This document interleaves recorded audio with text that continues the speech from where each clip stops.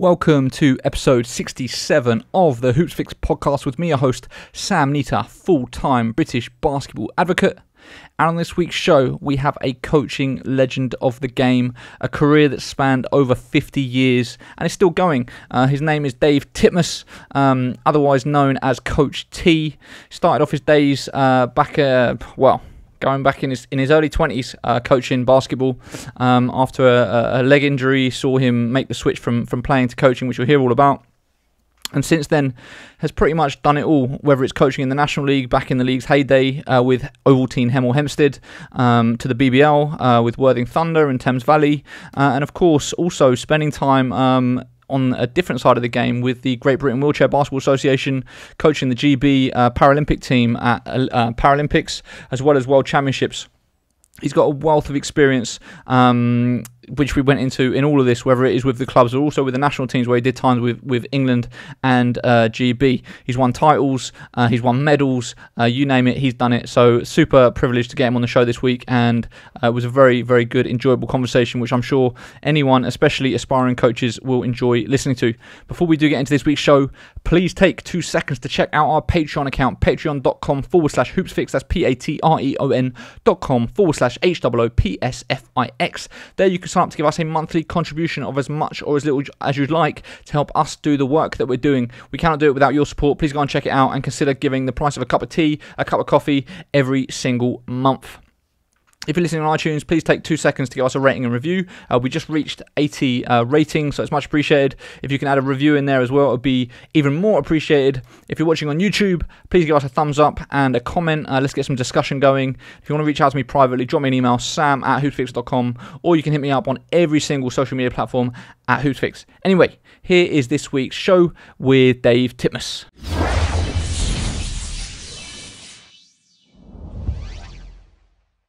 Coach, welcome to the show. Thank you, thank you, Sam. So uh, there's a lot to a lot to cover in this. Obviously, you've you've been involved with the game for decades upon decades, around 50 years uh, as a coach. Um, and the place to always start is the beginning for me. Um, so I'd love to hear sort of your, your early exposure to basketball, how you first got involved uh, with the game. Yeah, I, I mean, I was um, 15 year old. I was living in Surrey, and I was soccer mad. I was a goalkeeper. I was a county goalkeeper level, but then we moved to Boreham Wood, my family, and I went to school there. And the PE teacher, would you believe, was a guy called Tony Smith, who um, was the GB Olympic coach in 1964. Um, and I saw the game. I was soccer mad, but then I, I, I, just saw this game that I'd never seen before up until that point. And I don't know, Sam, but something happened. Something happened. And within six weeks, two months, I never played soccer again.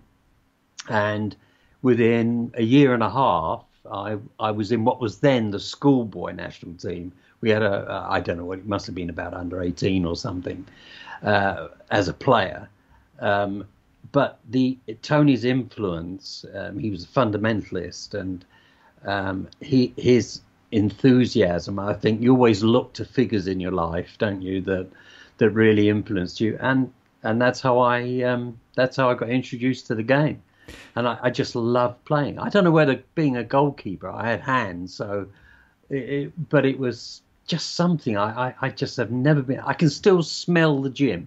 I can still smell the leather ball. You know, amazing. And so there was obviously a transition at some point from playing to coaching. You know, how how far yeah. did you take the playing, and at what point did the transition come to coaching? I'm pretty sure it was an injury that ended up sort of leading to the first exposure to coaching. But can you kind of go through that with us?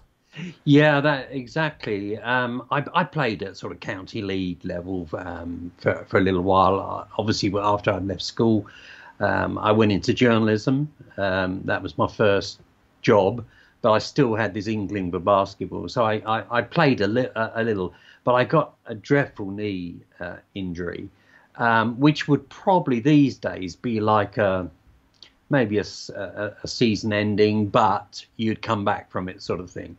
But in that period, my, my kid brother, John, his, his um, PE teacher asked me to go in and coach their school team. And again, uh, talk about experiences. That that that changed. Something happened there. I coached, um, and I, you know, coached what I knew from having played under Tony Smith at school, and it was then that it's kind of sparked. I realised that that I loved it. I loved teaching. I loved coaching. Um, I think in some I call myself a teaching coach, and that experience then, although I was able to recover and I missed about, you know, in county league sort of stuff as a player, but coaching was it. That that's all I wanted to do, and that started me on a a path. I realised I was going to have to study the game. I needed to know more. The game was not like it is today in this country, by the way. So, but that's how it that's how it happened. And so, so how old were you when you when you went into your, your brother's school to to coach? I must have been uh, 22, something like that. So pretty young, and at that point you decided this is what you wanted to do. Yeah, yes, I and I was aware actually that I was young as a coach, you know, because I was coaching people older than me, quite like at the club level. I was coaching people older than me uh, and so on, but but I, uh, you know, I had a sound footing in the fundamentals, but I I had I didn't understand the bigger, the other elements of the game, which obviously I went on to to study. So, um, uh, I mean, I'm 74 now, so that, that seems a long time ago, you know. So, yeah. so you're 22 years old. You decided, you know, you've come across coaching, and you've decided that this is, you know, this is your calling, and this is what you love to do. Absolutely. How did you, how did you approach it? Like, what were the steps that you took as a young aspiring coach to kind of try to, I guess, improve, improve your knowledge, improve your skills, uh, put yourself in a position to be able to succeed as a coach?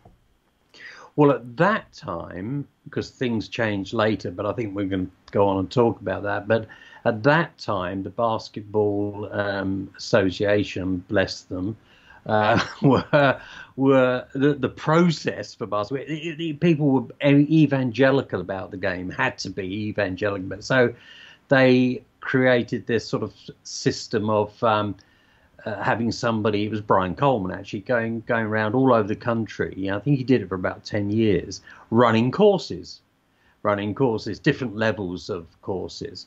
But most of the people doing those things, uh, tutoring, um, and I got myself on everything I could, absolutely everything I could. They were from teaching backgrounds predominantly. So you learned a lot about group management and teaching styles, coaching styles, um, about the simplicity of the game. Uh, well, a game that was simple on one level but had complexities on another, you know. But you did that. That's what I got from those things. But nothing about. I, I never learned how to be a professional head coach, for instance, you know. Uh, but what it did do was um, make me understand the value of practice, of preparation, um, of creating an environment, how you create an environment. So I'm very grateful actually to those, and and of course I I went on to, to tutor. Well, I don't know. It's over 1,500, I think, um, uh, coaches uh, in various levels of, of coaching awards. Things have changed and improved since then, though when you talk about sort of the lay of the land of the game um, in that era when you, when you first started getting involved with the coaching side, could you see a route to becoming a professional coach, or did you accept that it was going to have to try and be something that you'd do on the side around having a, a full time job as well?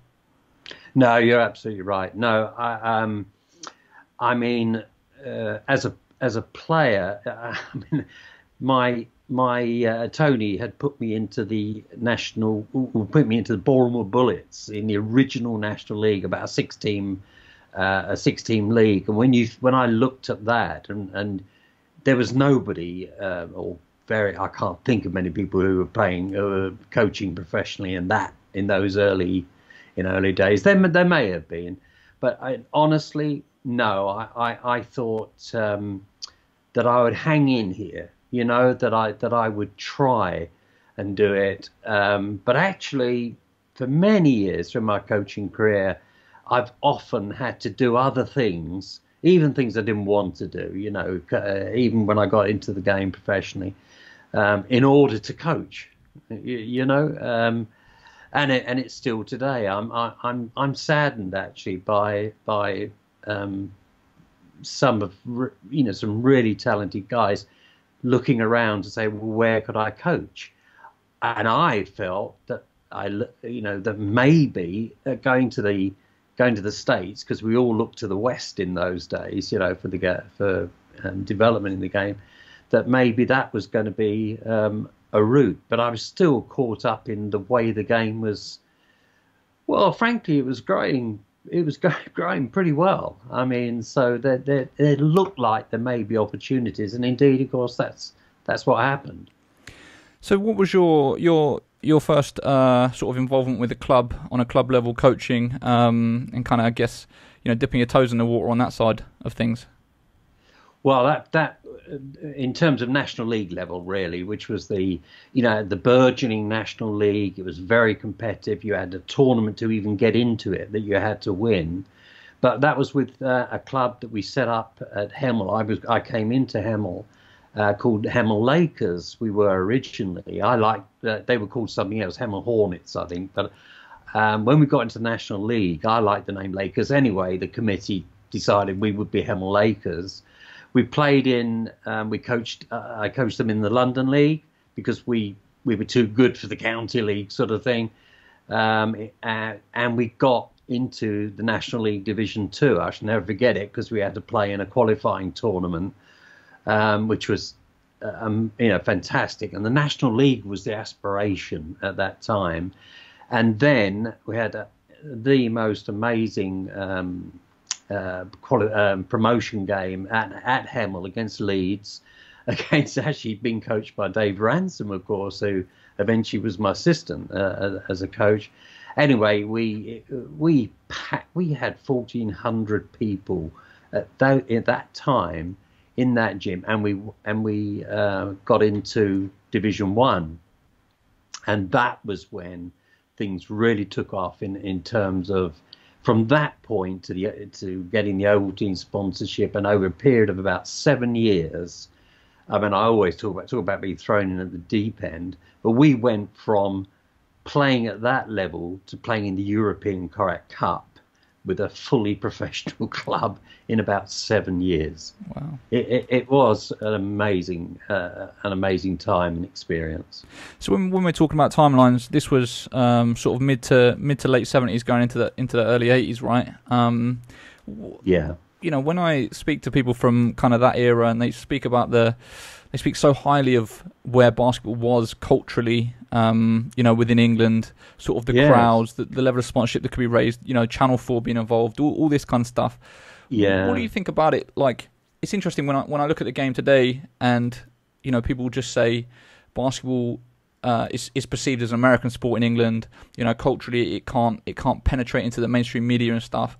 But it seems like back then it did. So it's like, what which means it's possible in England. Like it is possible because football still existed back then. You know, cricket still existed back then. So it's like, yeah, what was it back then that was different to what we have today and what we've had for the last couple of decades, where it's been very hard for basketball to sort of break through into into being a little bit more mainstream. Yeah, well, I, I, well, obviously the TV deal, deal with Channel Four um, was enormous. I mean, that that that exp- every Monday night there was a live game from something. we had them at, at Hemel. Um, there were there were and, also um, there were a lot of personalities um, on the floor um, that I think that people began to identify with, and it was the first time we saw uh, moving out of the mainstream. I, my thought at that time was, listen, all all we need now is to get on the back pages of of um, the national of national press. Then we know we, we would have arrived. But we were kicking against the um, traditional sports, soccer, cricket, um, rugby, and I and I, I think it, it, had a sort of a novelty a novelty value. But a lot of good people um, were involved uh, in marketing and pushing the game, and there was an element that if you could just get them in the gym, if you get people into the gym, the reaction was always the same. Oh, I never knew it was like that. Oh, that was bad. You've got a scoreboard with ticking down, two scores go, all of the things, the exciting things about the game. Uh, the family orientation, you know, uh, uh, in terms of audience. And I think soccer was going through, I, I might be wrong about this, but my recollection was hooliganism and those sorts of problems. You never had that in in uh, in in basketball, so it was a it was a clean spot. I think it was difficult to put onto television. I think you couldn't. I suppose, like a lot of sports, it, it's difficult to capture the sort of atmosphere of, of what a game was is is really like when you sit courtside versus watching it on a on a screen. Obviously, NBA and EuroLeague, they've taken it to another level now. Um, but at that time, and do you know, I, I've, I've read countless accounts, even some of my former players, you know, Bobby Kinser and, um, well, the late um, Larry Dassie now, and, and uh, people I was involved with at that time who, who say exactly the same. There were some terrific players around, but the players that would, estab- would be established now um, I mean, Joe Joe Pace. I, I recruited a guy, an NBA player, an NBA center. I don't think there's I don't think there's ever been. Well, the BBL's a guard forward league now, you know, but the BBL. I'm not sure I'm answering your question. I'm wondering. No, no, no. it's, uh, it's, it's all interesting. Um, yeah. Do, do, do you think that if if uh, the BBL was able to recruit that caliber of player. We're talking about you know players that have just been drafted or players that have very you know at the moment we do get obviously London Lions have just signed DeAndre Liggins who who played in the NBA yeah. just four or five years ago. But if we were able to get sort of players of that level cl- close to their prime rather than at the tail end of their career, regardless of them being American as opposed to British, do you think that would actually because the standard of play is so much higher and maybe more exciting, that could potentially help basketball break through? Do you think it is all about the product that's on the floor in terms of the talent of the players? Well, I mean, that's always been. I'm conflicted about this. I just thought actually about Harvey as well. Harvey Knuckles, a, a second round draft pick player. I went to Los Angeles and we recruited him to Hemel. So they're, they're, they're serious. You know, they were serious uh, players. But I'm conflicted about this because um, the argument is that if you have American players, it's more more exciting, more more personalities. There's a novelty um, area, and to win, um, certainly in in National League, for instance, to win, uh, you you quite often have to have you know at least two two um, two American players. But I'm conflicted because of the, my national team experience, which I know we'll talk about. But I I wonder if if we went the other way. You know, would would um, unless we could get to a level. But I, I, I wonder if supposing we restricted imports quite dramatically uh, and had and re- were able to retain some of the, I mean, just outstanding British uh, talent um, that has that's been here, but be be good enough, be be stable enough and commercial enough to be able to, ha- instead of them going to Europe, perhaps not yet stopping them go to the NBA. They're going to go to the NBA, then you know that's a big payday. But uh, you know, if we if we did that, then I, I think the British. Um, I don't think it would affect crowds. I, I, I, think I think we've got athletic guys. You know, uh, I I think it's overrated that that thing, and I, and and it would all be British British guys. You know, I think there's a parallel with soccer. I'm not I'm not into soccer, but you know people talk about the England about the Premier League and the, how foreign many foreign players there are. Um, and I love American players, by the way, because I've I've been I've had some wonderful wonderful players um, and personalities. Uh, but they are concerned, aren't they? I think about the then the performance of the national team and in basketball's case, the national team success, then everybody knows it, everybody says it. National team success turns things around it domestically. Hockey, you know, look at hockey, look at netball, look at what netball's done. Um, look at any sport that is suddenly successful. There's always a, uh, and it's the, the ridiculous thing is that basketball is an incredible game for this country. You know, it's indoors, it's warm, you know, it's family orientated, it's exciting, all of those things. Um, but I would want to see British players. Um, why can't we have a domestic league predominantly made up of British players? Maybe have a, a two-player rule, and I and I include passport players in in that, by the way. Okay, yeah. yeah. I mean, it does seem like over the last few years, there's definitely a greater presence of of sort of national team guys and high level British players that are playing playing domestically for the first time. And yeah, obviously with with Brexit happening, um, that could also sort of force force the hand a little bit in terms of uh, bringing bringing more guys home potentially. Um, so yeah, it'll be interesting to see kind of kind of how how it, how that all plays out. So you know when we're talking about sort of the Hemel Lakers and then then uh, becoming Ovaltine Hemel Hempstead you said there that over the course of the seven years, you basically went from, uh, I guess, amateur to prof- to a sort of fully professional setup. What yeah. would you attribute that um, acceleration uh, of the development of the club to? Like, how did it happen so quickly? Well, I, we had um, we put together teams. You know, we had fantastic uh, volunteers uh, that we had built, but we couldn't. You couldn't do it without money, and so uh, the, the, two biggest things obviously were that we began to attract sponsorships. I mean, the smaller sponsorships, as well as uh, Ovaltine, which at that time was um, was a perfect um, um, perfect uh, what's the word partnership. Um, but but also we raised a lot of money. We created and set up a lottery that we ran and developed across the whole of the south of England and if I tell you that over a period, we're, we're talking about about five million pounds um, being raised, and, and half it went back in, in prizes and so on. But uh, but a, a lottery that was almost disassociated with the club because we we you know we got a, um, news agents to to stock it all over. We had full time staff running it.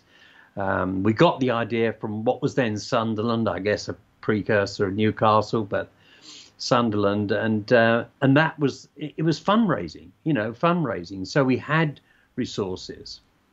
So so what you, you actually set up your own lottery, like a like the national lottery, like people would buy yes. tickets with a chance of winning a lump sum of money, and then you could take profits out of that, which would help fund the club. Yeah, it was very heavily re- regulated, but um, that it was it was amazing because this was before the national lottery. Yeah, that that killed a lot of these type of lotteries, club lotteries, you know. But of course, the football club we had Watford up the road, um, of course they were running these sorts of things. But but we had uh, um, we designed our own own um, brand of lottery that wasn't just linked, it was linked to the club sort of technically, but we realized that the way to uh, to raise money was to develop it across the country. We, we, we, we had agents all over the south of England. I mean, we had people going around in cars picking money up, you know, and then, and then of course, we, we began to sell more and more. Um, and we were selling a lottery out in a, in a week at one stage, which was incredible. Um, so that amount of money allowed, I mean, myself, we had a, a full time staff. Uh, uh, Roger Roger Yapp, uh, who's a statistician, well known statistician now, a terrific administrator. He came, you know, was able to come in full time. I was full time, but of course, I wasn't full time coach.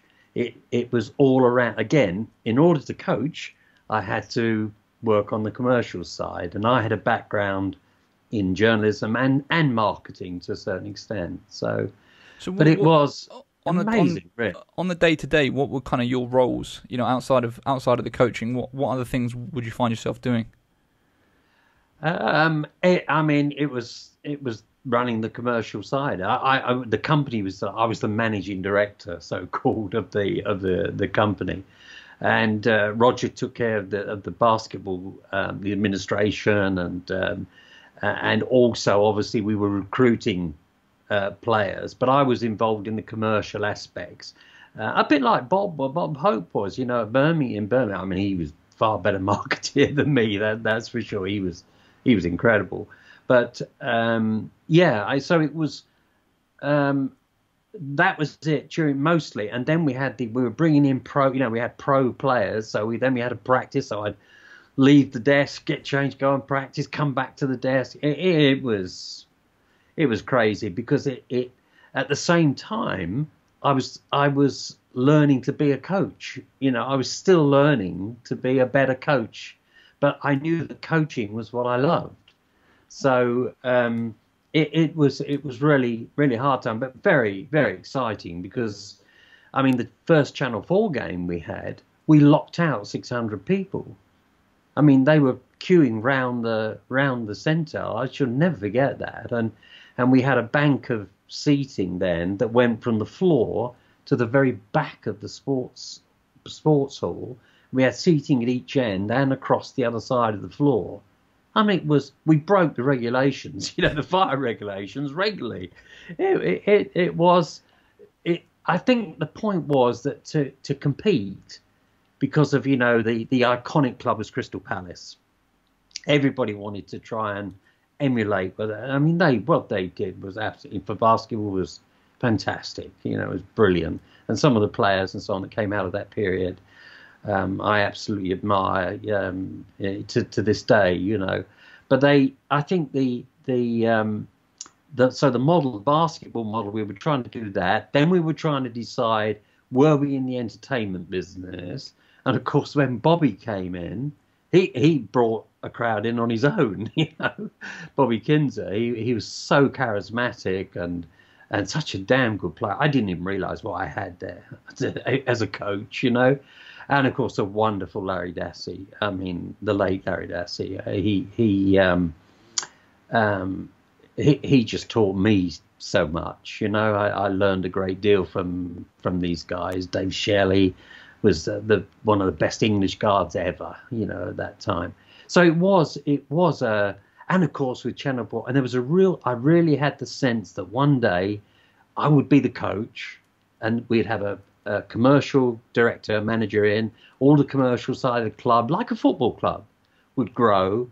And then the, the, the sports hall would be too small, so we needed better facilities. And obviously, that's what's happened to a certain extent in other parts of the country, isn't it? You know, look at Newcastle, look at London playing out of the copper box.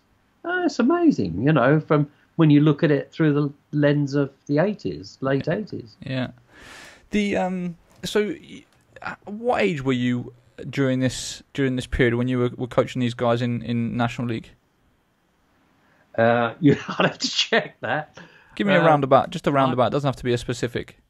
No, no. I so I by now must have still been pretty young. My, I was quite. Oh yes, I was. I think thirties. You know, thirties, and I, I was on a real. I'm in a steep learning curve to put it put it mildly. You know, and I and I couldn't absorb it.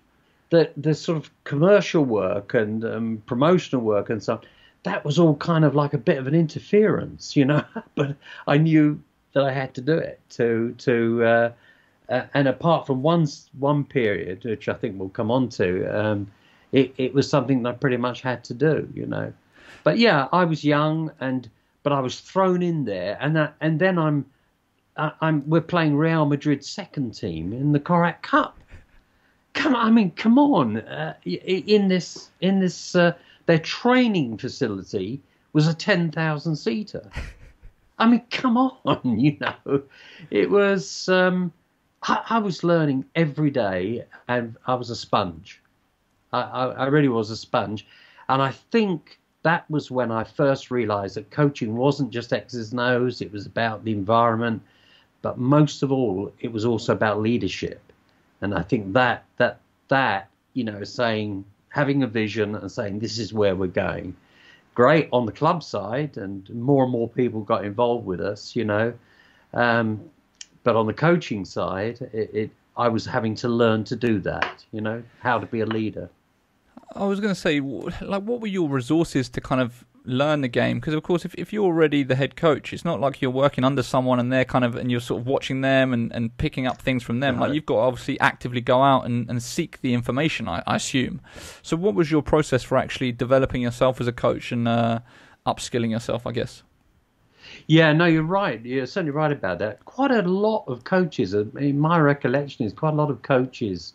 You know, Joe, uh, Joe Whelton, Danny Danny Palmer. Um, there were there were many others. I'm sorry, my I'm 74, Sam. Come on, you know the memory. Uh, but there were a lot of American coaches I was going up against, and to be absolutely frank, I, I, I would I would try and talk. Obviously, what on Saturday night you're playing against them. You know, there's an element of that. So. Um, and ironically, didn't look to Europe so much. You know, it was always West. Uh, but that was the start of, the, of my idea that, uh, well, to get better, uh, I'd been going to the States for um, recruiting. Like there was a summer league in LA, uh, which I think may even still be operating, where, where I actually recruited Harvey, Harvey Knuckles from, from the Lakers. So I would go, be going over there, and that was rich with coaches. Pat Riley was sitting in the in the bleachers. You know, I remember him in front of me uh, before he became the head coach there. Um, but it was a rich um, a source because I would then talk to anybody I could, um, uh, you know, about about the whole the whole thing, what they were doing, the coaching process, uh, development of philosophies. But then I formalised that a bit later. Um, uh, actually, actually, even during that time now, I come to think of it, because uh, uh I love the college game. I love the the um, the NCAA uh, more than the NBA actually. Um, I remember I went to India. so anyway, what I used to do was to make contact with the head coaches, and this guy from England, who you know, basketball, do they play it over there? You know, uh, and I was calling them up, and to be honest, I there's such generosity. I would go to programs and they would let me be a fly on the wall, and I would sit down. I remember I was really interested in in the ideas of the idea of controlling another team defensively, you know, with pressure. And uh, at that time, UNLV under Tarkanian were was were, they were famous for their pressure pressure defense. And I went out to um, he, I, I, I, called him up and he, he, he invited me out there and I stayed out on the campus. I went through every practices. I went to games. I went on a scouting trip. But he had a young assistant called Tim Grgurich who became, uh, is now, in fact, he may still be in the NBA, but one of the greatest player development coaches. And they had an old guy. They had Bud, Bud Presley from Menlo College who was a defensive specialist. And my God, I, I that I the first practice I went to at UNLV, the first hour and a quarter, I'm sitting up in the bleachers. I just landed and went straight to UNLV. I'm sitting on the bleachers watching his first practice. Do you know, for the first hour and a quarter, the basketballs never came out. It was all movement fundamentals. Unbelievable, you know. And then I'm thinking, well, I can't do that in England. you know, when I go back to England, guys got to learn to pass, shoot, and dribble. You know, um, but of that time, um, my experience at Indiana, I think this is well well known. You know, with Bobby, uh, with Coach Knight, I think uh, going to that going there was the first time I understood the idea of of reading. He's the greatest teacher, in my opinion, or one. He was one of the greatest teachers uh, of the game, and and I learned uh, about reading and and uh, and his his whole and, and, the motion offense was. People talk about motion offense now, but you know the way he coached it was sensational. Never ran a, a set play in in, all, in he won three national championships, you know. So it was a combination of those things and also taking youth teams out there. I, I, I took a team, um, a youth team out, and we played every um, team, every high school team in the, um, I can't remember, the, the Washington, D.C. area with DeMatha. teams like DeMatha, St John's, um, famous people. You know, we all had like Danny Ferry and people like that were playing on them. We didn't win a game until the last game. We actually won a game. We won one one game against these guys, but of course, I was talking to coaches. Um, Morgan Wootten is a legend, you know, uh, in in there, and I'm sitting there in a cafeteria, you know, talking to him, and and he's he, he helped me. Why would you know? Why I, he was so generous. We didn't get the ball over the halfway line in the first quarter against them, against DeMatha. And I had voices in in this country saying, "Well, why are you taking kids out there just to get thrashed?" You know. Um, but I balanced against that uh, the Lloyd, the Ware Rebels program, which I think we're going to talk about. But uh, we went out and to the to UNC uh, to North Carolina, and again, you know, Coach K at Duke and um, Dean Smith. So we were able to watch practices, and I was able to talk to assistant coaches. I was able to see the way Coach K spoke to his uh, spoke to his players. It was around the Christmas period, and I remember him worrying about the fact that there was going to be a break from practice. But the contrast between watching him and he still calls he's Bobby Knight is the only coach he calls coach. The only coach because he obviously played under him and he still he still calls him that. But his coaching I realized that coaching styles, you get it done with different coaching styles. He wasn't Bobby Knight. He didn't hate Bobby Knight. Completely different calm, cool, you know, work with the guys and then say, right, film room, we go to film room, and then 10 minutes later they come back. Da, da, da. You go to Coach Knight practice, and that was a, that was a little different. Just like you say there, like you know, different coaches have got very different styles, different philosophies, things they focus yeah. on, things they want to be known for, or whatever, or want their teams to be known for.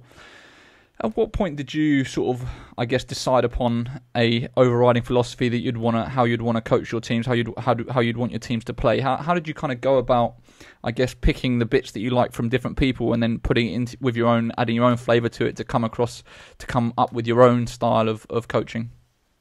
Yeah, that's a great great question because of course even now I still I'm still a student uh, uh, of the game, and I, I did make my mind up that I was always going to try and stay current. But I think it was forming, and I was very influenced in the early days by by the um, the college experiences, you know, and the trips to and high school. Um, and actually, we played a junior college as well with one of my original junior teams, um, uh, which was interesting. But I think they were really firming up. Um, and there was a season. Uh, actually, I, I, coached Brunel. I remember this so well. I, I they had been in Division Two and won promotion the year, and for some reason the, the, the coach wasn't returning, and um, uh, they they I, I was appointed there, um, and then MD coach Dunning joined me a little bit later in the in the season, but in that year um, again, something happened in terms of my philosophy that a lot of things came to, uh, came together, and I was beginning to feel. Uh, and to me, it was about how do you get um, a group of players to realise their potential. And it was in that year. It was a team that was expected to go up and come down. That that's what I was taking over. That's what I was told. They're going to go straight back down again. Um, you know, but I had two, uh, Dale Roberts and Brian Killebrew, two two wonderful guys, uh, two, two, two Americans. Martin Walters, um, sadly has died now. Uh, Phil Ralph, kid out of Avenue under Lenny Lenny Hoy, um, and Dave Human, a, a workman like I think he had a sort of connection with Crystal Palace. But um, it was that team um, and what we achieved um, ending up going to the going to the players. And this was the era of Kingston. You know, um, Coach Coach Cadle was there. This was 1985, 86, right? Yeah, 85, yeah. 86. That's it. Um, I have trouble remembering some, but it was yeah around about there. And um, of course, uh, Portsmouth had a fully pro team. I think Dan was there, Dan Lloyd, and so on, and Danny. Um, who was the coach? I'm trying to remember the coach, but the the the whole thing came down to one game for me in terms of realizing the potential of of that group. I thought we played the right way. A lot of my ideas about subtle changes in defense, um, about simplifying offense, about reading uh, on offense, all kind of came together.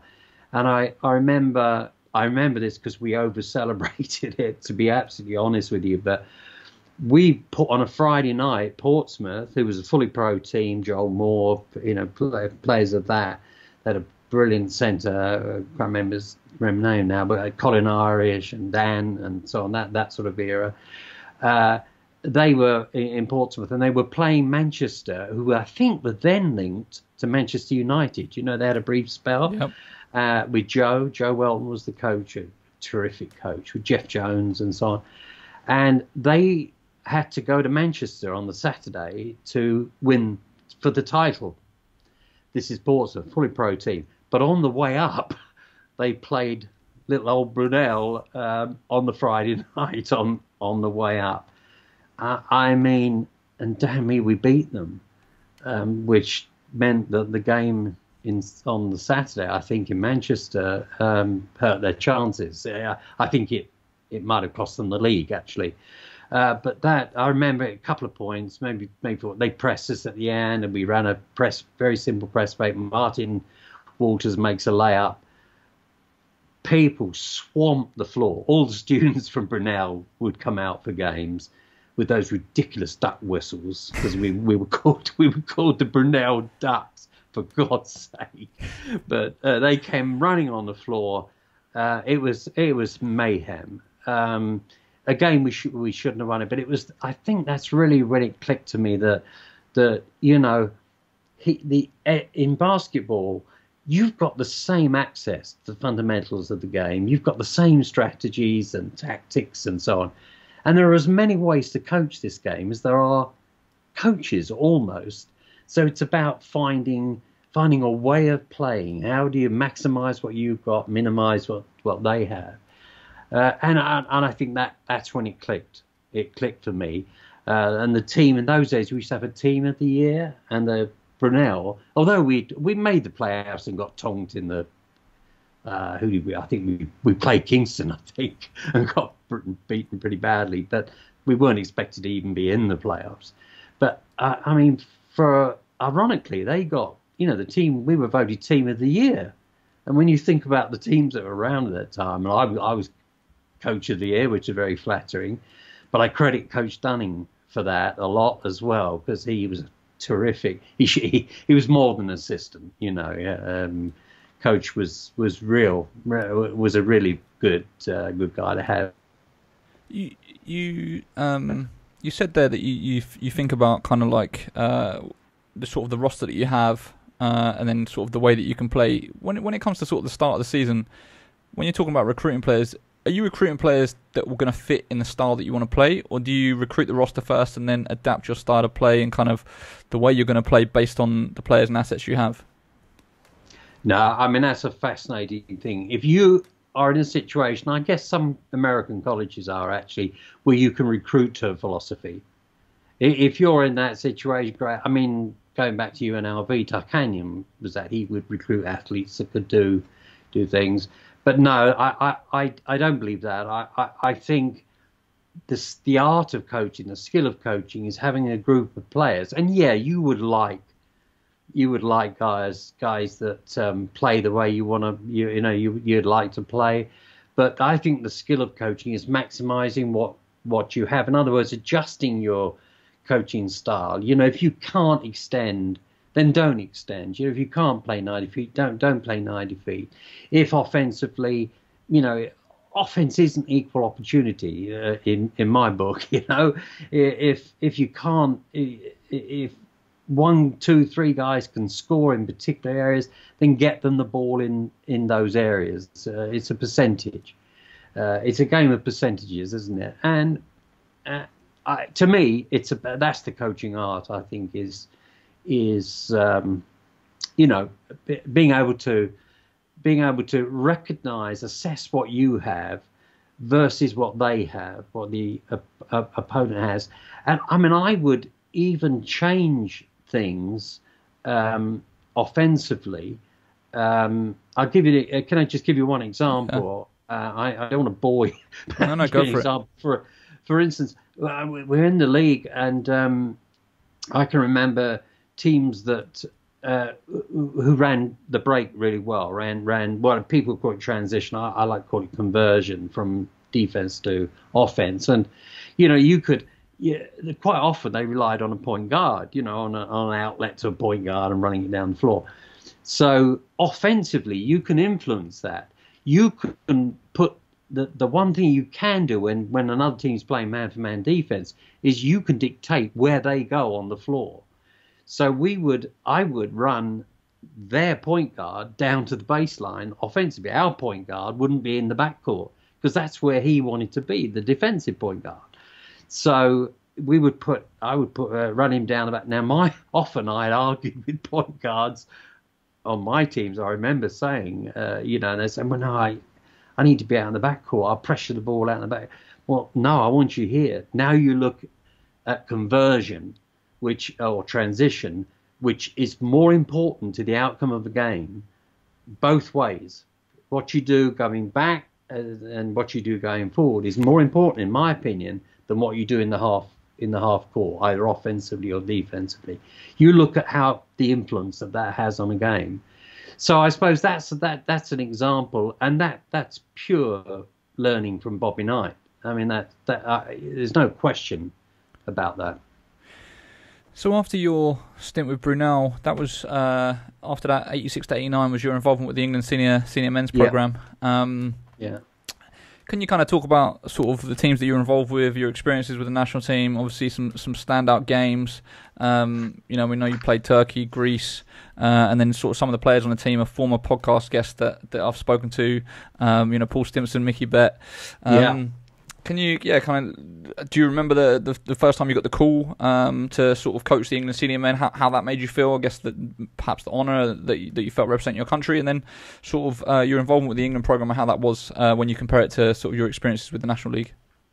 Yeah, I, I, good times, bad times. I think would be the way I'd sum that up. I think, um, and I actually did. You know, I looked at, I heard Paul and uh, and um, Mickey talking about some things there. Here, here's the, the the thing, but I got a call I was quite surprised actually. I, I, didn't even know why they were going to change the previous coach, but I, I, got a call on I think it was a Sunday morning actually. I remember, and um, was offered the, the, the chance to coach. I'd always wanted to coach at the highest level I could at the at the elite level, so it, it, it was a flat out honour. But and here's the but: it was at a time when uh, the dual national passport player, you know, was becoming more and more prominent. And there were, I remember, terrible conflicts and in my own mind because I were were these guys playing for the name on the front of the jersey, you know, the, those sort of things. And and I was really inexperienced. I'd had a sharp learning curve, no question. I felt technically able uh, um, to do it, but um, it was those those um, uh, decisions about uh, you know which players to, to to select. Some of those selection decisions, and I made one or two really bad mistakes. We, looking back, you know, I absolutely accept that. But but equally, um, uh, there were some. Uh, all right, we had some dual nationals, but we had the same preparation problems as almost still exist today, which is uh, disappointing. And I think you can only play to your talent level if you can't prepare. If you if you can prepare, then but it isn't just a question of preparation. But uh, in terms of memorable things, I think um, in the end um, we went to, to Turkey for the qualification um, uh, round to get into the semi-final round. Now we'd never won the qualification tournament. We were in a pool with Turkey, Sweden, Scotland, and England, and we were frankly the the two also runs we expected, I think, to go home. You know, and Sweden and Turkey to um, qualify. And um, as it turned out, you know, we beat uh, Scotland. we beat Sweden, who were, were actually I, I loved their team and I loved the way they played, but nevertheless we we um, we beat them, and we ended up in a situation where we were playing Turkey in Istanbul, in an arena that used to be where bear fighting went on. They, they, it was concrete stand, you know. They were all standing. The crowd. They were not seats. They were all standing on these concrete terraces. It was it was pretty pretty frightening.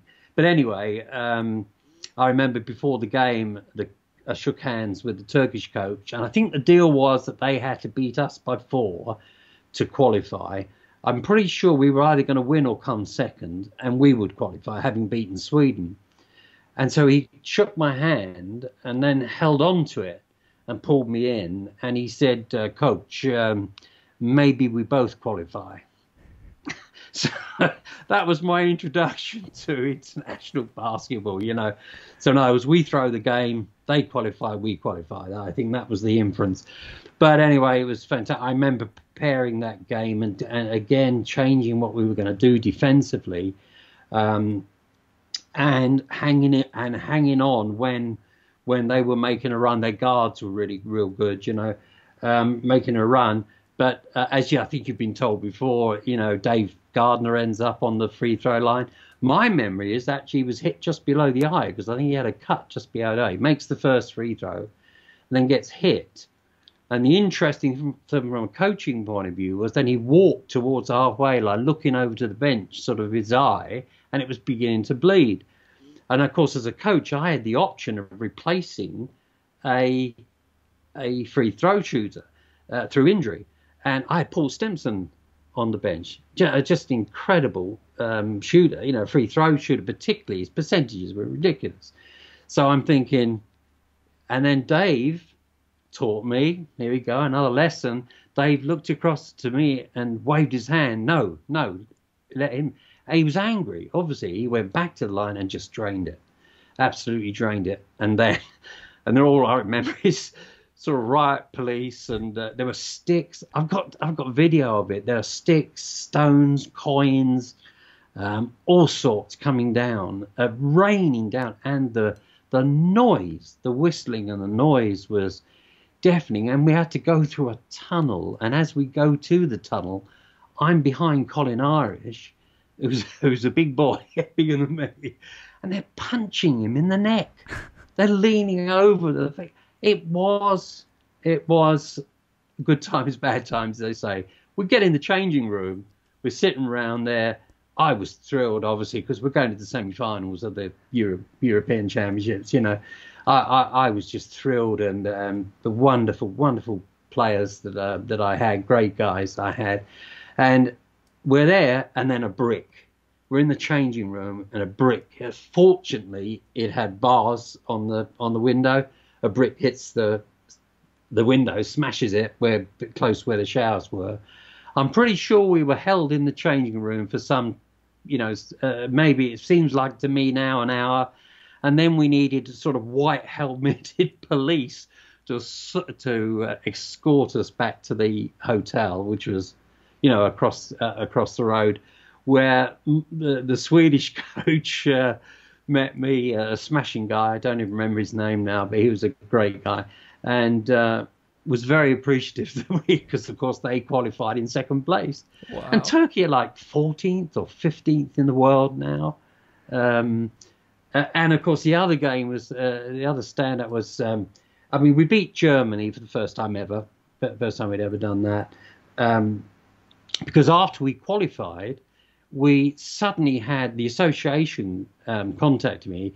They were suddenly getting a rash of invitations to go and play these sort of much more higher ranked teams. I mean, I'll give you an idea. We we went to we played China, Greece. I made a note here. Uh, I'll tell you about the Greece Greek game. Germany, Spain, Holland, Czechoslovakia, who we beat again, having uh, you know beaten them once before. Finland, Hungary, Belgium, Turkey, Iceland, who GB lost to you know uh, fairly recently. We beat them. Actually, coached by uh, Laszlo. Laszlo Nemeth was coached them at the time until he did such an incredible job with England.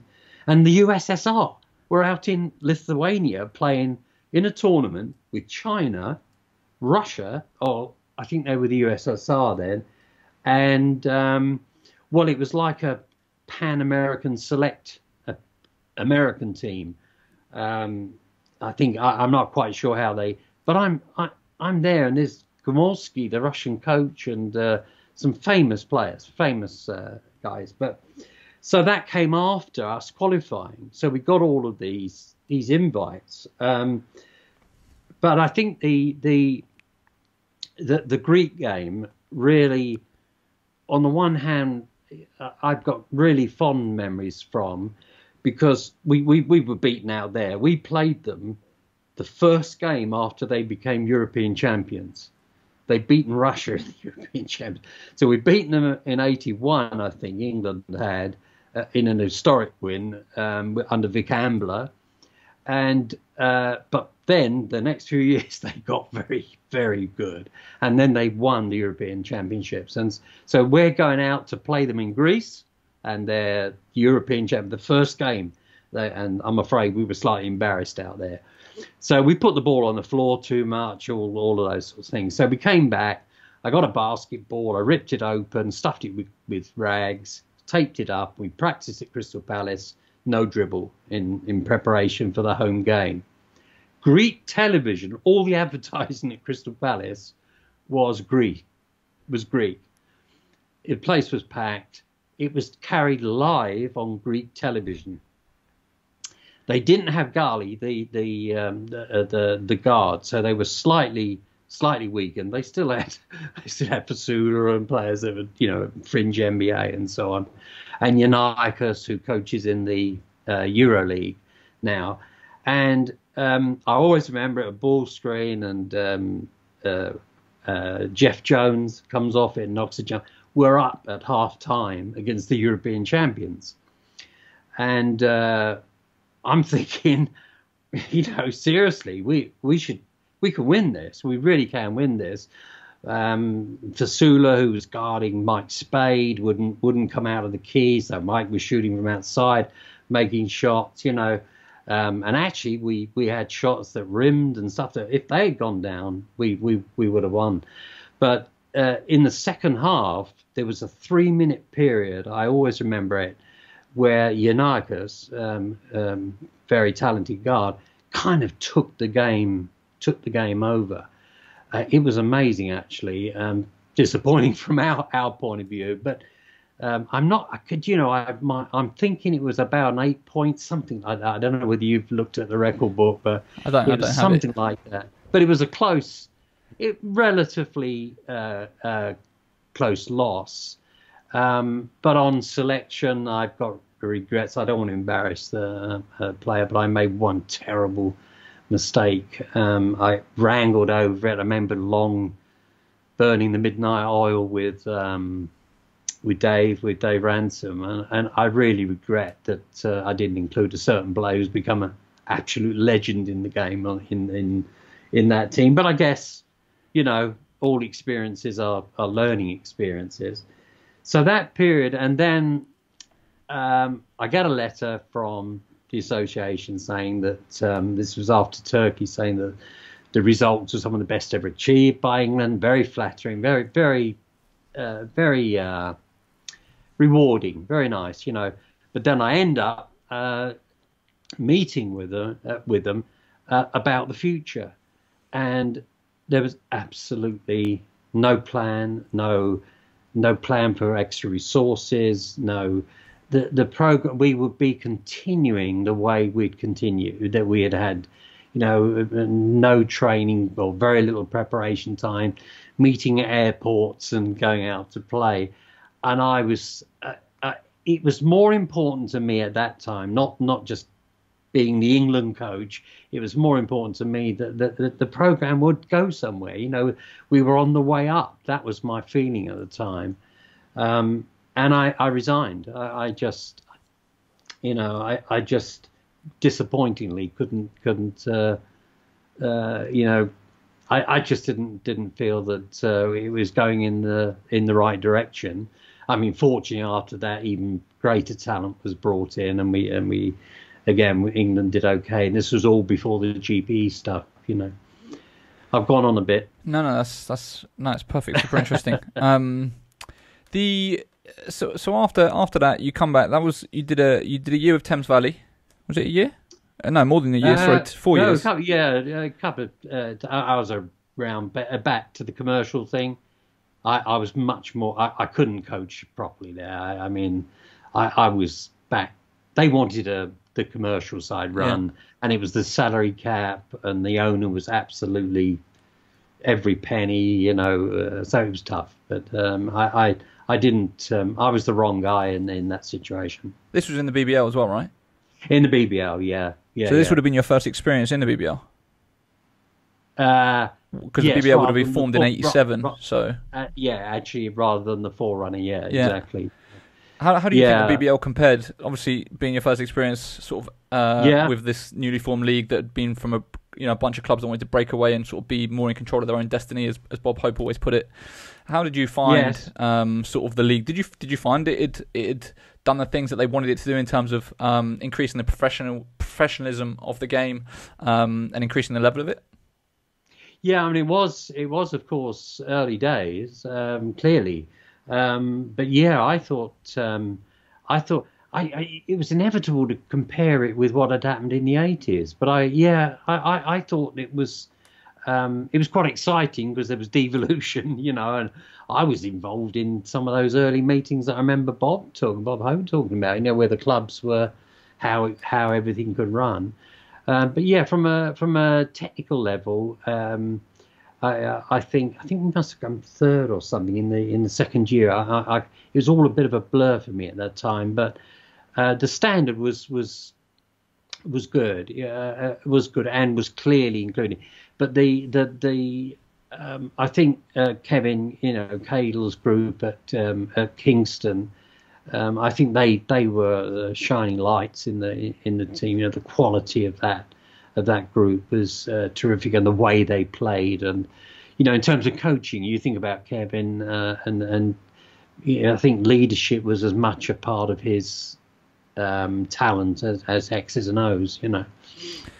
And so after Thames Valley, um, it was the Ware Rebels, the, the sort of the junior the junior program. Now now Yeah. obviously it was very successful. It was where you where you had your first undefeated season. I, I feel like um, you know when I speak to various people when they talk about sort of legendary junior programs, where is Ware goes under the radar a little bit uh, from that radar yeah, from that era compared to sort of you know the London Towers and your East London Royals and uh, sort of I guess the the, the more sort of London based clubs. Um, Yeah. one of the th- interesting things I sort of noted that you said about uh, that period with Ware is that it sort of um, confirmed your beliefs that you had around sort of junior development um, and everything around that. Can you kind of explain sort of that experience, uh, what it did for you, and, and why you decided to sort of go into focus on the juniors um, after, I guess, previously having been more heavily involved with, with senior programs?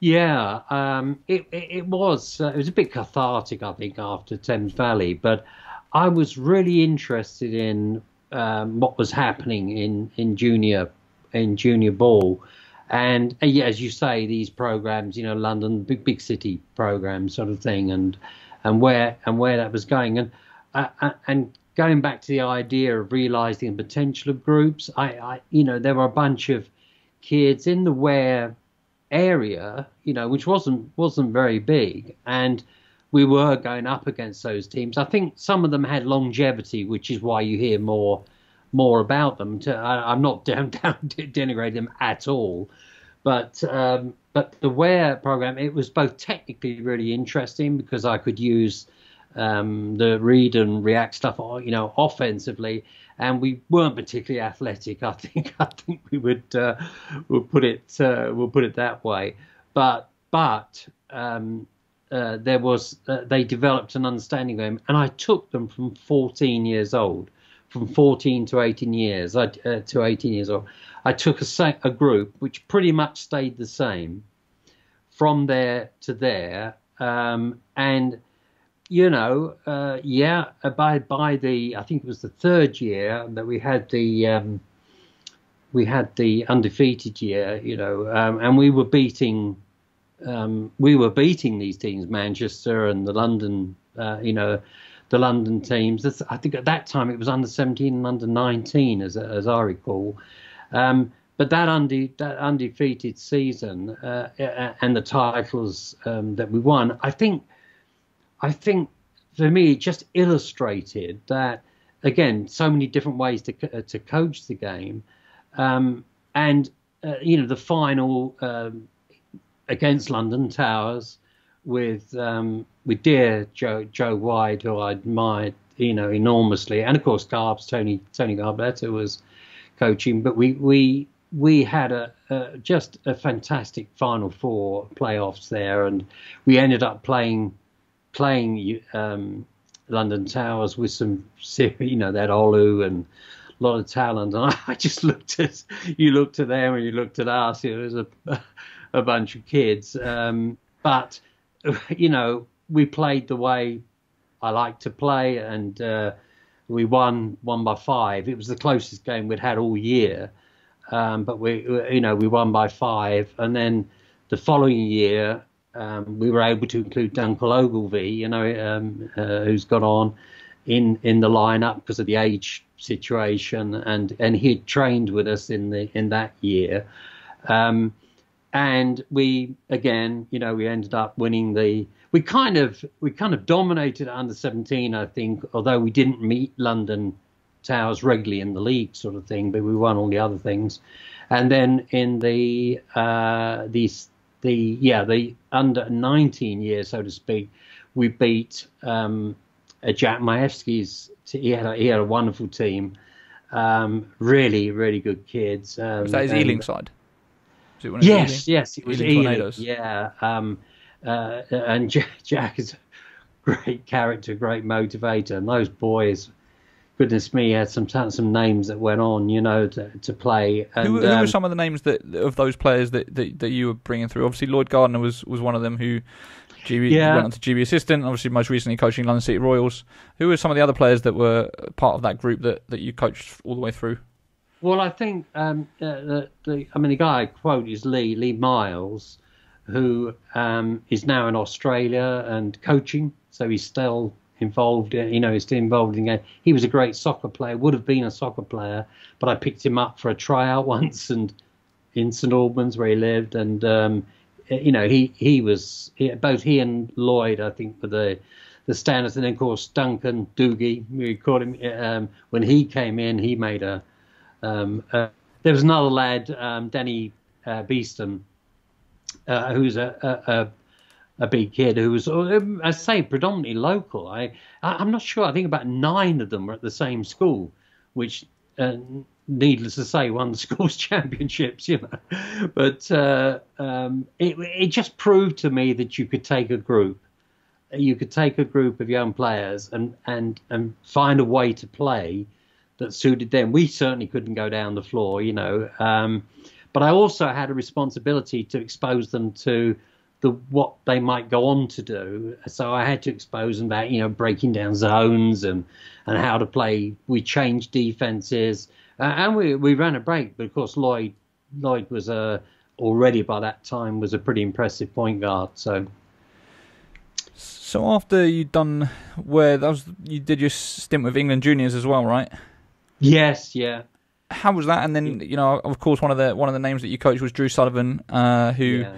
whenever I ask people who they're uh, some, to name sort of the, some of the top British junior players that they remember. Drew's name consistently comes up as one of the greatest junior players they, have ever seen. Kind of, what was he like as a talent? What was it like to coach him? And I guess um, sort of wrapping up with your, your kind of experience with, with the England juniors as well. Well, I, I'd had two spells. I'd had a previous spell way back. Okay. Where I went went to Mannheim with um, I think Morris Wordsworth was okay. the was the coach, and we were playing we played against an American team with some like uh, I think five of them ended up in the NBA, you know, that sort of thing. But anyway, uh, but this uh, again very disappointing. There was no resource available for that junior team, but we did go to a tournament out in in Belgium, and um, uh, which the England team had gone to, and it was the first time I really hooked up with Mark Lloyd, uh, Lloydie, whose dad, John Lloyd, had been my England senior men team manager. and I met with my it's a lifelong friendship now with with Lloyd. He was, was he, flat out probably the best team manager. Well, not probably, he is the best international team manager this country's ever had. I think, with all due respect to everybody else. Um, but um, we, we, and we went out to Belgium, and I remember um, Drew being on that uh, on that team, and they we got to the final. We played a Belgian team. I can't remember who, who they were, but uh, we, we, played a Belgian team anyway in the final, and uh, they had run, they'd beaten everybody pretty well. We we ended up winning by a margin, and the the game was broken open by Drew, who you know could play around the bucket, but he came down, I think, on three consecutive breaks, pulled up on the three point line, and I'm looking at the floor, thinking, you know, the classic. And he just knocked down, just knocked down these shots, and I realised that, you know, um, but I didn't. Re- I think I pretty much knew he could play anywhere on the floor. You know, um, so talented. I'd had to coach against him uh, going back in the in the day in the at the junior level, the very young level, the 14 year old level. You know. Yeah. Fortunately, I think he went to the states. saved us. You know, but he, he was wonderful. I'm terrible with names. I, I you know, there, there were other players on that yeah. uh, on that team. You know, but yeah, but Drew was the standout, no question. But so, no resources. Yeah. England, again, no. Common theme. Zero. A common theme. Yeah. Um, so, uh, Great Britain Wheelchair Basketball Association and being involved with, with wheelchair basketball, and obviously that, that, that represented a, quite a switch. Well, I, I assume. Like, how, how different do you find it is, you know, coaching um, wheelchair basketball in, in, comparison to able-bodied basketball? Uh, what made you decide to kind of make that jump. And of course, you know some of the experiences you had with them, oh. uh, Paralympics and uh, winning medals and, and everything else. Of course, I feel like the success of the, the Great Britain wheelchair basketball team is is pretty underrated because um, they've been an absolute powerhouse uh, for years. But absolutely, yeah. Can you kind of talk about that that sort of transition yeah. for you and, and, your involvement with them? I'd absolutely agree with that. Um, and now let me say uh, straight away that I, I remember what the way it happened was I had a player that I'd coached as a junior, Tony Woolard, uh, sadly passed now, but he he um, he was in a terrible. He played able-bodied basketball. He, he was in a terrible uh, motorbike accident, very badly injured. And anyway, um, they, they uh, the wheelchair game uh, GB team were fantastic. You know, they'd done really well and then there was a bit of a slide for whatever reason. I, I don't I don't really know the background, but they were sliding outside of. Uh, they'd been a European, they'd won a European Championship medal and got world class performance funding uh, from the lottery, and then they were sliding out um, of the top end. And anyway, he called me. He was on the committee and asked whether I would apply. They had an you know interview process to be the Great Britain head coach of the Paralympic team uh, before Sydney, coming up to Sydney. I had never, I'd rarely seen wheelchair basketball, um, let alone coached it. I hadn't coached it. And initially, um, I must say, some of some coach, some people around coaching were a little bit sniffy, you know, about it, um, which was disappointing because it was a life enhancing period for me, um, because the uh, uh, once he, I got the job, and I suddenly realised that I saw nothing but the similarities. First of all, you know, the baskets were the same height, the the floor was the same size, the ball was the same, everything was the same. But when I got involved with it, I spent three months studying the game. The first thing I did was just study the game for three months, day in, day out. And then, of course, I realized all of the differences. But particularly at the international level, it's a fantastic game. I, I could not believe some of what, you know, when I looked at teams like Canada and America, Australia, they were, I mean, you sat side uh, on the court sideline and you just stopped seeing the chairs. I mean, it just, it was just incredible to me. But there, it was very restrictive. Clearly, you know, you didn't teach footwork, you teach chair work, how how to do things, and and of course there were there were differences. So, I I we we were going to go to uh, Sydney. That's what they. I had a nine month contract um, they had world class performance funding, and I say it now, but though that period, I think it was about eight years, I was part of world class performance programs, which GB able bodied or, or able bodied would have died for. You know, I could look at practice at um, uh, you know how to create world class environments, performance environments from the best in the world. I could look around because I was I was still looking at able bodied. In fact, I ended up still coaching able bodied at Reading, but uh, I, it, it's purely selfish. But I had to learn it in order to write the world class performance plan and to get the, the continual funding. But I always remember that we went to Sydney um, for the uh, nine months after I first walked into Lilleshall to the training camp. Never coached the game. Sort of thinking, what am I going to do? I've never coached the game. I had a great assistant coach who, who really taught me everything. And um, we went to we we prepared and I and I tried to professionalize what they were doing. That was the key problem. They, that even though they had all the funding, um, you know, the guys were very few guys from. There was only one guy with any sort of um, background in able-bodied basketball. So um, I felt that they, the whole thing needed uh, there needed to be a whole change of um, environment, let's say. So I tried to professionalize everything and introduce standards that we wouldn't fall below and all this sort of thing. Um, so we did that in a very short time and just unbelievable. I pushed them. Some of the things were just outright cruel. I mean, you know, we'd be up at 6 a.m. at Lilleshall pushing a two mile hill. Um, the kids, the guys, before breakfast, you know, um, and then we would have train all day. I mean, some of the demands, physical, uh, physically that uh, that we made were unbelievable, but they rose to it. They absolutely rose to it.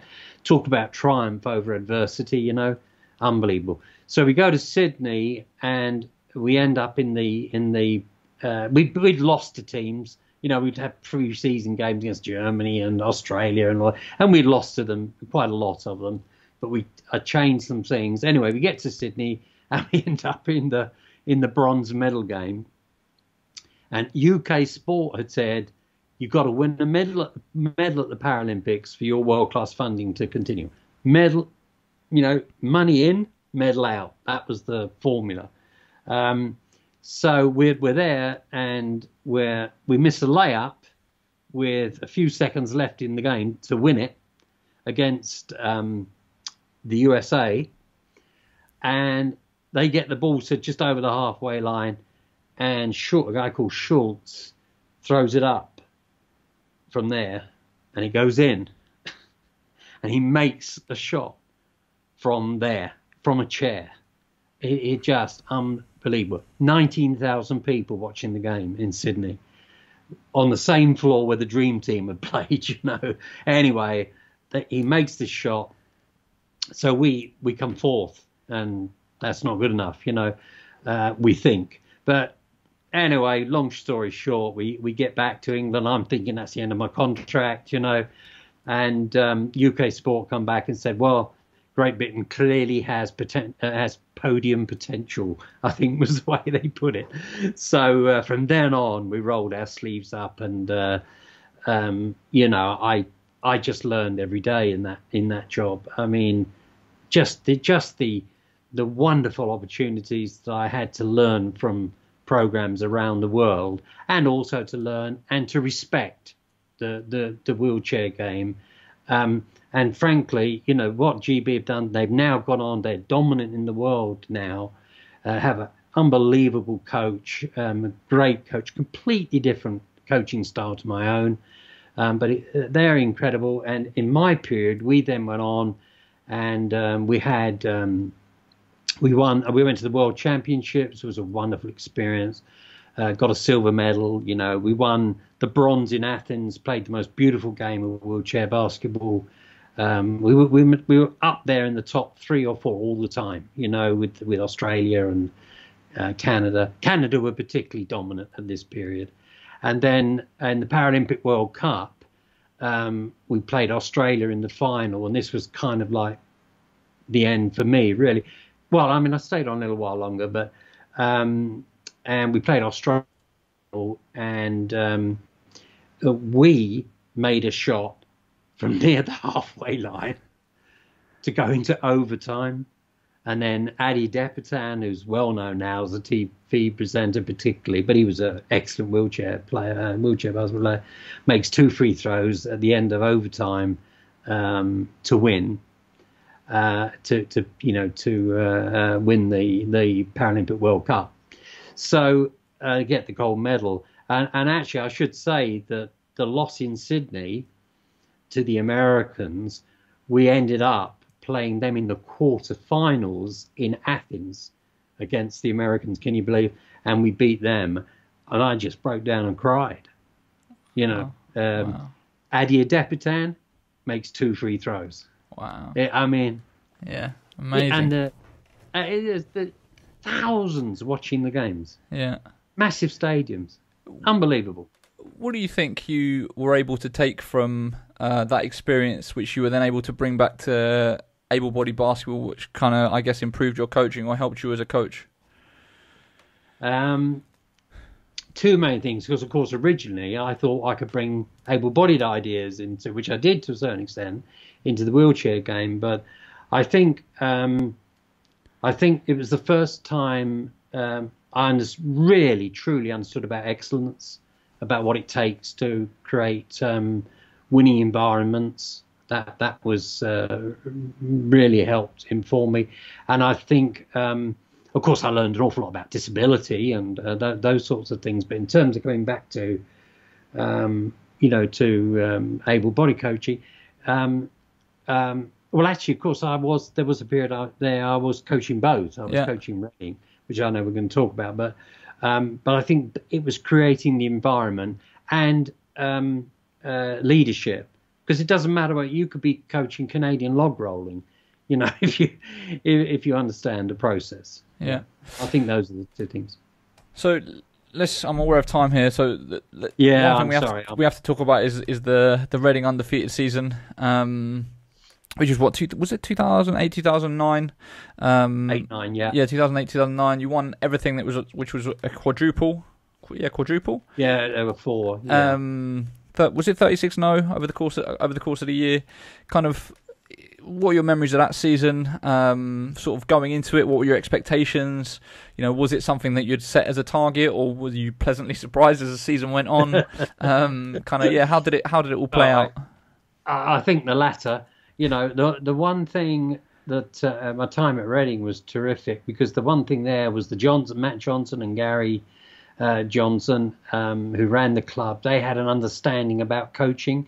And you know, if I were a club owner now, I would, I would, the first position I'd fill would be the head coach, who understood leadership. You know, but um, that year, that particular year, I felt when we recruited Tintin Watts. Um, uh, and I saw him practice. I, I knew we could be competitive. We we didn't have the the best. I don't think we had the best roster in the in, in the league. To be absolutely frank, we had a really good roster, and it was bolstered. We had five or six senior players, and it was bolstered with with Matt's um, junior um, uh, program players. You know, um, but we had you know um, Tintin. We had Walid. You know, Walid Mamouni. Uh, a couple of really really good. Um, uh, Americans that kind of complemented each other. But uh, I again, it, it it was it was a culmination, if you like, of the previous six or seven years. We'd gone up, you know, we'd won something every year, um, but so much was about the creating the environment in terms of practice and so on that I'd learned from my time on the world class performance program. Uh, so yeah, obviously, as the year went on, we won game, games in overtime. I think we won games from the free throw line. We won. Um, we had injuries. You know, Tintin was hurt. I remember in one very big game, but we, we, found a way. That sort of thing. Um, but but most of all, it solidified. I think um, the the the challenge of maximizing your talent, maximizing what you have. That sounds really pious and slightly big-headed, but uh, uh, but I but I think that that's what I I learned from that. Um, but I, I was, and the other great thing about it was I just coached. I my whole time at Reading, they just wanted me to coach and develop the program. So I had no commercial responsibilities, and they were fantastic for that. Yeah. And the other thing is the, the your season in, in Worthing, um, in the BBL, uh, yeah. 2009 2010. So what was that? That was so that would have been the, the season after you went undefeated with Reading. Yes. You, yeah. you decided to leave. Was was that your decision? You wanted to leave and then sort of coach in the BBL, or like kind of yeah, how, yeah. how did that there, come about? Was, yeah, yeah. No, there was a, a, big element of that. I sort of felt, and again, slightly, um, I don't know, uh, a slightly getting getting above myself a little here, but I sort of felt well, I wanted a new challenge. Yeah. You know that uh, really uh, we'd Go won everything. Top. We, yeah. Go out on top. yeah. yeah. Yeah. There was an element of that. I loved the Worthing Club anyway from being down there. They'd had one year in the B, BBL, and uh, I think you know it struggled a little bit. And a number of people they were interviewing for it, and um, so I thought I would I would go. You know, I would I would give it a try and and see see what I could bring to them. Um, and again, there there's a management that understood the you know the value of the of, of coaching, and um, and in the end, um, it was an interesting team. You know, to have Reggie Bratton and KD and uh, Finnish guy Ville and uh, uh, and some other guys, but um, uh, we ended up. Uh, I'm kind of disappointed in in a sense. I was expecting. Um, I think we had the second lowest budget, and, and that's not. I'm, I'm not. Uh, that's not uh, sort of um, any criticism because it was a wonderful club um, and wonderful people, and they treated me really well. But we ended up beating every team in at least once in the BBL, and in fact beating Newcastle twice. They absolutely whipped our behinds in the playoffs. you know, I think there was a element of revenge there, but we we, we did after all beat them twice uh, close games, both games. And the only team we lost to was Tony Garbs' team at Everton, um, and he, he he he did such such a terrific job. Uh, just out coached the hell out of me, you know, in that in those games. So, anyway, um, uh, it it it was an experience that that uh, I didn't go. I couldn't go back. I mean, the travel was a big issue because I was still living in Hemel. The plan was Lynn and I were seriously thinking of re- relocating to the south coast. Um, but in the end, I um, I didn't. I don't know. I just I, the, the league the league seemed to be more and more composed of of imports of one kind, you know, one kind or another. I know there was some British talent in there as well, obviously, but um, it was kind of it was a little bit disappointing as as a as an experience, I think. Um, but the the high, obviously the the Newcastle games, but we had to go to Plymouth at the end of the season, down and of course fantastic atmosphere, all that stuff down there. And it was actually Gary's last game, Gary Stronach's last game, and um, one again one of those games we're down and we set up some trap or whatever. Anyway, we come out with the ball and Reggie knocks it down and we we end up going into overtime. We don't go to the playoffs unless we win it, and we ended up winning it. We beat, we win it going away, seven, eight, nine points. So we go into the playoffs, and could look forward to the thrashing at, uh, Newcastle. You know, so but again, just a, a, great experience because of the people and the players um, who I loved. You know, they, yeah. they they were all very good with me. Yeah. And then to kind of your, your the last the last uh, sort of club stint of your career uh, was with Hemel Hemel Storm. Um, yeah, I guess kind of almost going back to the same sort of place where it, where it all started, coming full circle. Um, exactly. How, how, was that kind of? I guess to to to round out your your time with clubs, um, and how do you look back on your, your time with the Storm? It was across Division Two and Division One, right? Yeah, I, I I thought we would give it a go. You know, it was 2010, and uh, it was 17 years or something since it, since basketball been there or longer, and um, so uh, we were in division. There was a franchise um, that that we were able to move to Hemel Division Two.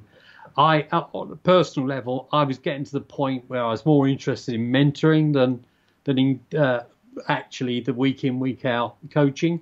But nevertheless, I, I wanted us to get back to Division One. So we had a first year in Division Two, and I coached that. And then the second year, we won promotion um, into uh, Division One, uh, and then um, a year in Division One. But by now, we were really looking to. Um, I, I, was anyway. I was I, I, was really looking to step away. Um, I did towards the end of it have some health issues. Uh, I'm diabetic, and I, you know, I had some issues with my eyes. Um, so I think um, you know the coaches we brought other um, coaches in, but now of course, I mean, la- last year was terrific. I mean, there are a lot of good people there running the club, and I and I sort of, I sort of uh, uh, draw, drawn a line sort of under that. I, I am much more involved now in in mentoring, um, but at least it's still being played. It's now being played back in, you know, back in Hemel at a decent level. So uh, yeah, there was definitely a feeling of coming full circle. But I, do you know, I really think that once once I've got I, we won promotion and uh, we'd won a couple of patrons cups and we'd gotten gotten them into the first division. It was almost a case of me think looking around and thinking, well, you know, um, I I love working with other coaches and, and in this mentoring type of role. Uh, at that time, I, I, actually oil paint, so I had other interests uh, looming. Um, so I think that that uh, it, it's left in a really good state uh, and and it's going to go. It's going to grow now. So let's talk about your involvement with the game now. Like you said, kind of obviously you you retired, but you're you're you're taking up a mentoring role with, with other coaches. What exactly does that involve? And I guess who who are you mentoring? Oh, it's it's really informal. I'm not sure that there's some GB guys uh, um, that I'm talking with, um, uh, and also um, I've just done a presentation to all the East Region uh, coaches, but it's all it's all sort of obviously with the current situation, and I'm I guess I'm in that high risk group, um, so I've been self isolating for quite some time, um, so a lot of it's done you know on the phone or Skype or whatever, uh, uh, and I, I I'm talking to to coaches, um, and I just get calls like or, or emails or oh, I'd love to sit down and have a coffee. Could we sit down and, and do that? You know, I know I know I'm due with with uh, with Alan. You know, Alan Keeney under twenty uh, twenty coach. I want we want to talk about motion and uh, uh but uh, it's it's the country needs more and better coaches. That's that's the bottom line. So I've always uh, always felt that. So while there have been vast improvements, I think, in the technical development and so on. Um, if I can help in any way, you know, uh, I'll do it. Uh, I'll do it. But um, you know, there's a new generation of of young coaches now coming through, and I, I, I but I would, I'd be always happy to hear from somebody that wants, you know, I. I I had an email uh, recently from Lee, from Lee Miles, who's coaching out in Australia. You know, absolutely fantastic. Uh, one of my former guys, and of course Lloyd, um, uh, coaching at the well was coaching obviously in the BBL, um, but um, that's that's the way I feel now. I, at 74, I kind of feel I want to I want to um, I, have got a back seat from the day to day stuff, but I'd love to go once it's safe. You know, I'd love to go into into programs and maybe you know do a little bit um, on the floor with some coaches or just work with the coaches in terms of coaching philosophy and and that sort of thing. One of the things that's, that's clear to me is just how important coaches are for the development of the game, and you know it's said yeah. repeatedly just how well, first of all, how, how few we don't have enough, um, but also then the level of the ones that we do have uh, is not high enough. Like we, we need to improve the level of coaching. We need to Absolutely. better develop coaches. Um, if you were tasked with you know being being responsible for improving uh, sort of both the quantity and quality of coaches that we have across the UK, where would be uh, the places that you would start? What what things would you be looking at putting in places to kind of try and help drive coaching forward?